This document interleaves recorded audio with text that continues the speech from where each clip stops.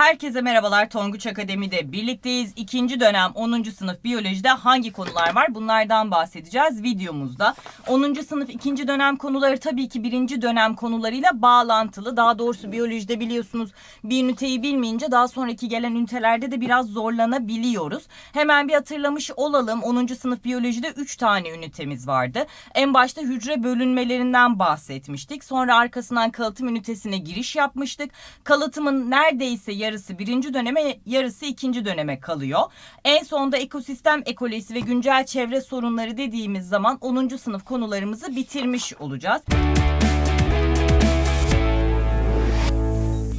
Dediğim gibi ilk ünitemiz hücre bölünmeleriydi. Hücre bölünmelerinin içerisinde neyi görmüştük? Birincisi hücre döngüsünden bahsetmiştik. Yani hücre döngüsü demek aslında hücrenin hayatı anlamına geliyordu. Bir hücre var olduktan bir sonraki hücre bölünmesine kadar geçen süreçte başına gelenler, yaşadıkları onun hücre döngüsünü meydana getiriyordu. Mitoz dediğimiz olay da aslında hücre döngüsünün bir evresiydi. Ee, vücut hücrelerimiz mitoz bölünme yaparak çoğalıyor oluyorlardı. Bazı tek hücreli canlılarda üremeyi de sağlamış oluyordu. Daha sonra mitoz temeline dayanan tabii ki eşeysiz üreme çeşitlerinden bahsetmiştik. Bölünerek üreme, rejenerasyonla üreme, tomurcuklanma ile üreme, sporla üreme, vejetatif üreme gibi çeşitleri vardı. Ardından mayoz bölünmeden bahsetmiştik ki mayoz bölünme genetik çeşitliliğin oluşmasını sağlıyordu. Eşeyli üreme yapan canlılarda kromozom sayısının yarıya inmesiyle eşey hücrelerinin yani yani yumurta ve spermlerin oluşmasını sağlayan bölünme çeşidiydi. Mitozla mayozun çok fazla derecede kıyas sorusu karşımıza çıkıyor. Üniversite sınavında da çok sık çıktığı için okul yazılılarında da hocalar çok fazla kıyaslarını veriyorlar. Mitoz bölünme vücut hücrelerinde meydana geliyordu. Mayoz bölünme üreme ana hücrelerinde meydana geliyordu. Mitoz bölünme sonucunda iki tane hücre oluşuyordu. Mayoz sonucunda dört tane hücre oluşuyordu. Mitoz genetik çeşitliliği asla sağlamıyordu. Oluşan hücrelerin genetik yapısı bir birbiriyle aynı ve ata canlıyla da aynı oluyordu. Mayoz bölünme sonucunda kromozom sayısı yarıya iniyordu. Oluşan dört hücre de birbirinden farklı. Haliyle ana hücreden de genetik yapıları farklıydı. Eşeyli üreme dediğimiz zaman tabii ki genetik çeşitliliğe sebep olan olaydı. Ee, yavru dölün, yavruların ana babadan farklı özelliklere sahip olmasını sağlıyordu. Eşeyli üremenin temelinde de mayoz bölünme, daha sonra oluşan bu yumurta ve spermin döllenmesi geliyordu. Bunlar bizim ilk ünitemizin konularıydı. İkinci ünitemizi biraz daha kapsamlı anlatayım size. Çünkü ikinci ünitemiz kalıtım ünitesi. Üniversite sınavında her sene bir tane sorusu fix kesin çıkıyor ve kalıtım benim de size sorduklarımdan anladığım kadarıyla ve yorumlardan anladığım kadarıyla en çok zorlandığınız konulardan bir tanesi. Şimdi öncelikli olarak kalıtsal kavramlardan bahsetmiştik. İşte homozigot, gen, heterozigot gibi hatırlatacağım onlara. Kalıtımın kurucusu olan Mendel'den bahsetmiştik. Mendel genetikle ilgili ilk kuramları, ilk kavramları ortaya atan bilim insanıydı.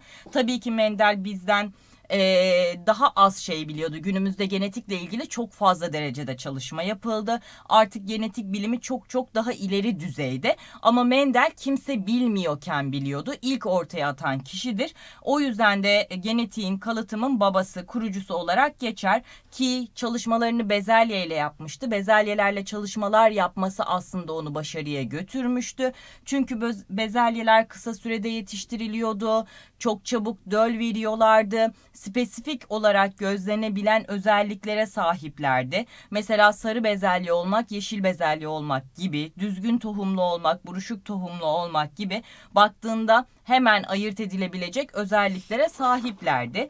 Kavramları bilmezsek konular ilerlemiyor. Kan grubuna bağlı kalıtım gördüğümüzde de çok hallerli kalıtım gördüğümüzde de eşeğe bağlı kalıtım gördüğümüzde de mutlaka kavramları iyi bilmemiz gerekiyor. Kavramları çok uzun uzun konu anlatımlı videolarda anlatmıştım. Eğer eksik varsa o konu anlatımlı videolara bir tekrardan dönün derim ben. Burada birazcık bahsedelim. Gen dediğimiz yapılar vardı. Bizim özelliklerimizin, karakterimize ait bazı durumların ortaya çıkmasını sağlayan DNA parçalarıydı. Mesela göz rengimizin oluşmasını sağlayan genlerimiz var. Boy uzunluğumuzun oluşmasını sağlayan genlerimiz var. Yok ne bileyim saç tipimizin oluşmasını sağlayan, cinsiyetimizin, kan grubumuzun oluşmasını sağlayan genlerimiz var var. Bunlar küçük DNA parçalarıydı. aynı özelliğin ortaya çıkmasını sağlayan genlere alel ismini veriyorduk. Yani kahverengi gözgeniyle mavi gözgeni ikisi de göz renginin oluşmasını sağlayan farklı tipler. Yani bu ikisi birbirinin aleli oluyordu. Eğer dışarıdan bakıldığı zaman fenotipte etkisi görülen genlere baskın gen diyorduk. Dışarıdan bakıldığında etkisi görülemeyen özellikle heterozigot durumlarda etkisi görülemeyenlere çekinik gen diyorduk.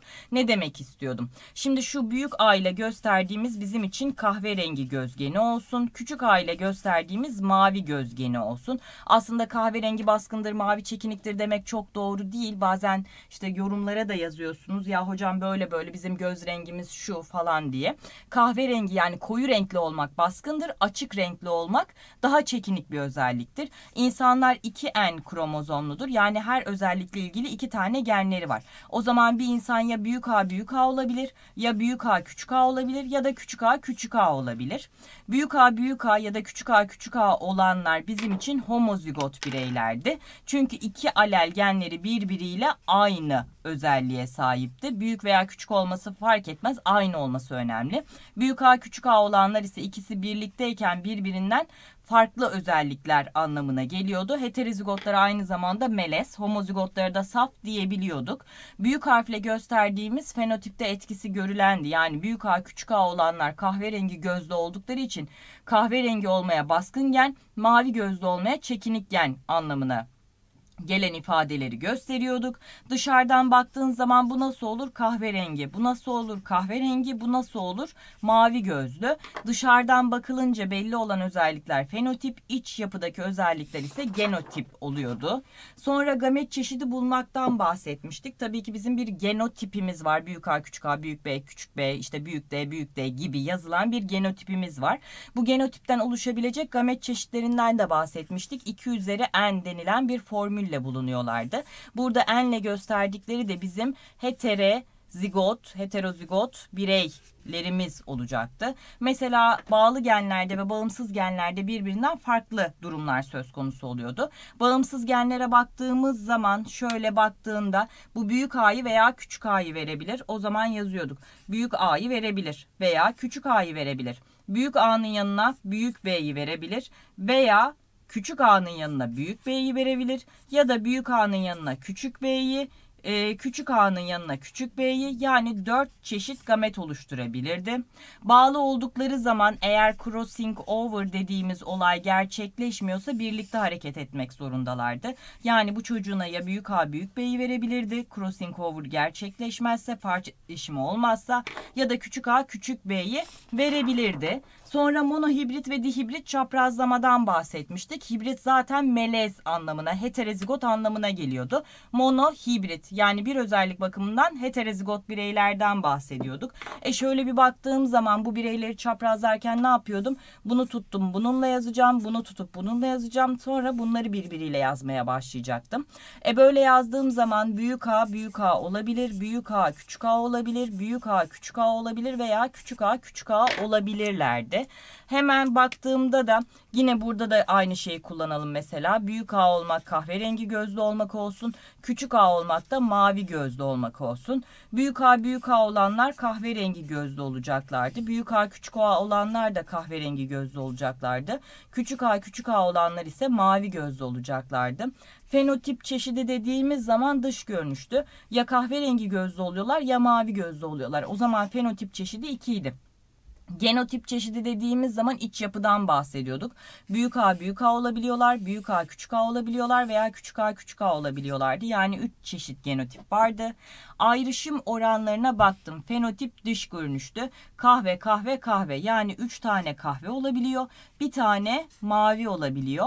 Genotipe baktığımız zaman da bir tane büyük A büyük A olabiliyor. iki tane büyük A küçük A olabiliyor. Bir tane de küçük A küçük A şeklinde oluyordu.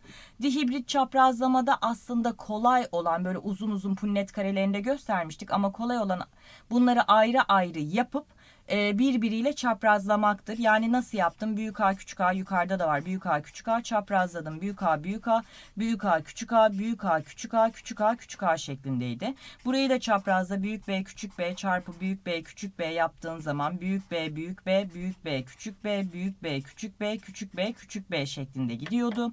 Hemen baktığımız zaman fenotip çeşidi. A'lar için kaç çeşit fenotip çıktı? İki tane ya büyük A'ya benzediler ya da küçük A'ya. B'ler için kaç çeşit çıktı? Yine iki çeşit ya büyük B'ye ya küçük B'ye. 2 kere 2 çarpı 4 yani fenotip çeşidi 4. Genotip çeşidine de aslında yukarıdaki mantıkla aynı. Büyük A büyük A olabildi, büyük A küçük A olabildi ya da küçük A küçük A olabildi. B'ler için de aynısı olduğuna göre genotip çeşidi de 9 çıkacaktı. Burada da fenotip oranı olarak 9, 3, 3, 1 diye bir oran çıktığından çok uzun uzun bahsetmiştik videolarda. Şimdi eş baskınlık dediğimiz zaman ise şöyle bir durum söz konusu oluyor eş baskınlık dediğimizde iki ataya da tam olarak benzemiyorlar. İkisinin de özelliğini taşıyorlar. Yani şöyle olacak. Bizim kırmızı çiçeklerimize KK diyeceğiz. Beyaz çiçeklerimize BB diye göstereceğiz. Bunları çaprazladığımız zaman oluşan yavruları olacak. Yani KB'ler. Ne K'ya benzeyecekler ne kırmızı olacaklar ne beyaz olacaklar. Bazı yaprakları kırmızı bazı yaprakları beyaz şeklinde olacaklar. Mesela ben size hemen çizmiş olayım. Şu çiçek çiçeğe baktığın zaman bazı yaprakları kırmızı, bazı yaprakları beyaz şekilde oldu. O zaman burada eş baskınlık durumu vardır. E bunları da kendi içinde çaprazlarsan yani KB çarpı KB yaparsan KK, KB, e, KB, BB şeklinde oluyorlardı. Fenotip çeşidine baktığımız zaman bunlar kırmızı, bunlar kırmızı beyaz, bunlar beyaz olduğuna göre 3 çeşit. Genotip KK olabiliyor, KB olabiliyor, BB olabiliyor. 3 çeşit. Fenotip oranı kırmızı, iki tane kırmızı beyaz bir tane de beyaz. Genotip de yine aynı mantıkta olacak. Tabi uzun uzun anlatacağım bunu videolarda eş baskınlıkta fenotip çeşidi genotip çeşidine, fenotip oranı genotip oranına eşit olarak çıkıyordu. Sonra kan grubu sistemi dediğimiz bir sistemden bahsedeceğiz. İnsanlarda dışarıdan da bakıldığı zaman A, B, AB ve sıfır kan grubuna sahip oluyoruz. Ama içeriye baktığın zaman bunlar birbirinden farklı özelliklere sahipler. Çünkü A ile B'nin arasında eş baskınlık var. Sıfır da bunlara çekinik olarak kalıyor.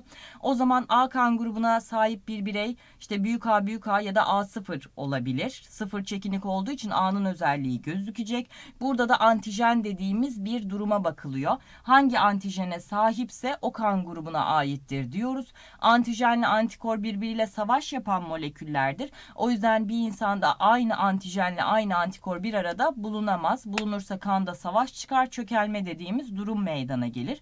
A antijenini bulunduranlarda antikor A bulunamaz, çökelir. Antikor B'nin bulunması gerekiyor. Tabii ki bir de RH faktörümüz olacak. RH pozitif, RH negatif dediğimiz bireyler olacak. En sonda kalıtımı eşeğe bağlı kalıtımla bitireceğiz.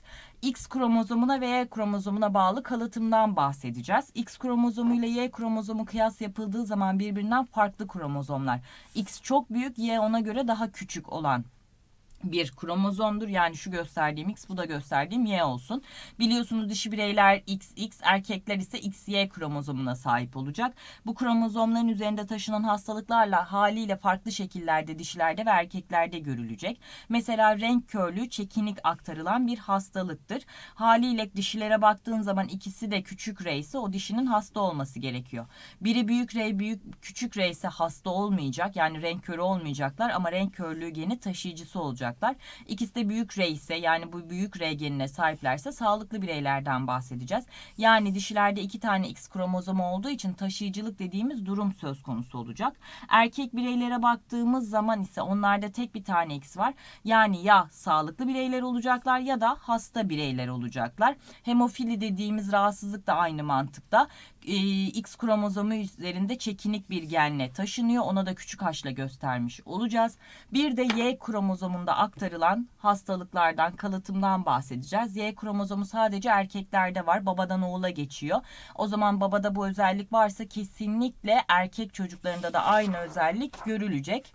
Geldik son ünitemize. Son ünitemizde ekosistem ekolojisi ve güncel çevre sorunları dediğimiz ünitemiz olacak. Burada da bazı kavramları bilmemiz gerekiyor. Ama biraz 7'de 8'de gördüğümüz ekolojiyle bağlantılı hafiften hatırlayacaksınız. Hemen bir 9'da gördüğümüz tür kavramından bahsedeceğiz. Tür neydi? Doğada insan zorlaması olmadan çiftleşebilen, çiftleştiğinde verimli döl verebilen canlılara aynı tür canlılar diyorduk. Aynı tür canlılar sınırları belli bir alanda bir araya gelecekler, popülasyonlar oluşacak.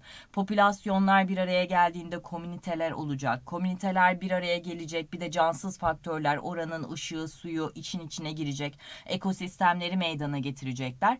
Ekosistemler yani dünya üzerindeki tüm canlı yaşayan alanlar bir araya geldiği zaman da ekosfer ya da biyosfer dediğimiz katmanı meydana getirecekler. Okyanusun canlı yaşayan en derin noktasından havanın canlı yaşayan en üst noktasına kadar tüm o katmandan bahsediyoruz. Habitat canlıların adresi yani bir canlı aranıldığı zaman bulunduğu, yaşamını en iyi idame edebildiği yerler olacak. Ekotonlar iki ekosistemin kesişim noktaları, ekolojik nişler ekosistemde canlıların üstüne düşen görevler olacak. Arkasından ekosistemi etkileyen faktörlerden bahsedeceğiz. Biyoloji canlı bilimiydi ya. Biyotik faktörler yani ekosistemi etkileyen canlı faktörler. Üretici, tüketici ayrıştırıcılardan bahsediyoruz. A biyotik faktörler de cansız faktörler olacak. Enerji kaynağı, iklim, sıcaklık, su, pH, toprak ve mineraller yine ekosistemde bulunan tüm canlıları etkilemiş olacak. Geçen sene buradan üniversite sınavında soru çıktı. Besin piramidinde ne azalır ne artar gibi bir sorumuz vardı. Ki besin piramidi de 10. sınıf konularımızın içerisine dahil olacak. Canlıların birbirlerinden beslenmesiyle oluşan bir zincirden bahsediyoruz. Ayrıştırıcı dediğimiz canlılar var. Onlar besin piramidinin her yerinde olacaklar. Mesela aktarılan enerji dediğimiz zaman üreticiden son tüketiciye doğru gidildikçe azalacak. Biyokütle dediğimiz zaman onun da azaldığından yani toplam canlı kütlesinin azaldığından bahsedeceğiz. Biyolojik birikim dediğimiz zaman aktarılan zehirli madde miktarı artacak. Canlı sayısı azalacak. Dünyadaki üreticiler her zaman tüketicilerden fazladır. Aksi durumunda kıtlık meydana gelir. Enerji kaybı mutlaka basamaklar arasında artacak. Vücut büyüklüğü de genellikle artacak ama bazen azalması da olabiliyor. Biz inek yiyoruz. İnek bizim alt basamağımızda ama bizden vücudu çok daha büyük olacak. Sonra madde döngülerinden bahsedeceğiz. Su döngüsü, yağmur yağdı, yere düştü, buharlaştı, atmosfere gitti. Tabii arada canlıların içme ve boşaltım yapma gibi faaliyetleri de olacak. Karbon döngüsünden bahsedeceğiz ve doğada azot döngüsünden bahsedip güncel çevre sorunlarına geçeceğiz. Hava kirliliği, hava kirliliğine bağlı olarak tüm dünyayı etkileyen küresel iklim değişikliğinden bahsedeceğiz. Su kirliliği, toprak kirliliği, radyoaktif kirlilik, gürültü kirliliğinden bahsedeceğiz. Bizim ekosisteme yaydığımız karbondan dolayı oluşan karbon ayak izimizden, ekosisteme zarar verdiğimiz zararı geri kazandırmak için gereken ekolojik ayak izinden, sulara verdiğimiz zararı hesaplamamıza yarayan su ayak izinden bahsedeceğiz. Geri dönüşüm ve biyoçeşitliliğin korunması, doğal kaynakların sürdürülebilirliği için neler yapmamız gerektiğinden de bahsettiğimiz zaman 10. sınıf konularımızı bitirmiş olacağız. Zaten üniversite sınavının birinci basamak e, sınavının yarısı zaten 10. sınıf konularından geliyor. O yüzden bizim için çok önemli bir sınıftayız. Hemen eğer e, tekrar etmeyenler varsa, eksikleri olanlar varsa onlara da ödevlerini göstermiş olayım. Hangisinden göstereyim önce? TAK'tan. Biz e, hücre bölünmeleri ünitesini bitirdik. Arkasından kalıtım ünitesinin de yarısına kadar geldik. Yani dihibrit kontrol çaprazlaması ve eş baskınlı kısımlarını bitirdik. Sizden şunu rica ediyorum. Kalıtımın kalan kısmı yarısı da ikinci dönemin başında görülecek. Eğer kalıtımla ilgili eksiğiniz varsa bu sömestr döneminde mutlaka o başlardaki eksik kısımlarınızı tamamlamaya çalışın. Yoksa okul açılır açılmaz farklı bir konuya başlamıyoruz. Bu konuya devam ediyoruz. Buradaki sorularda bayağı bir zorluk çekebiliriz. Yine aynısını sıfırdan 10 mantığında da göstereyim. Kitabı biliyorsunuz zaten. Bir tarafında konu anlatımı yapılırken diğer tarafında onunla ilgili sorular karşımıza çıkıyor.